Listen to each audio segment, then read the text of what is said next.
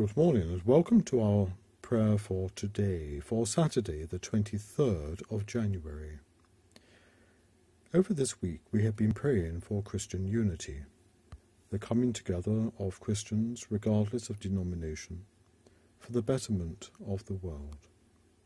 And today we give thanks for all the partnerships and relationships our churches have within this community and the communities around and about. Recognizing that as one we can do far more in spreading the gospel of Jesus Christ, showing his love to our communities, and bringing about a better life here on earth.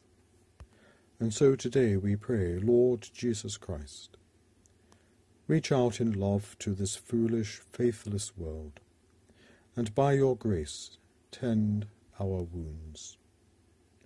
Come again to all who are hurting and hating, and overcome the things that still keep us apart. This we ask through Jesus Christ our Lord. Amen.